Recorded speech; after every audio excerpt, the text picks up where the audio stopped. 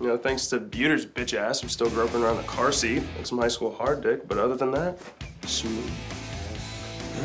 That's gonna be a good year, fellas. Okay, one more.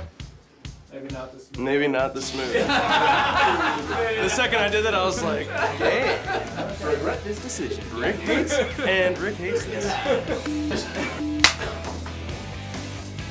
Oh, I'm Jackie Jackie.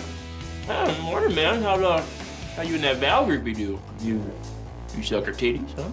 I mean, don't get me wrong, I definitely got some, but uh, thanks to Beuter's bitch ass, I'm still groping around the car seat like some high school hard dick. Mm. Oh.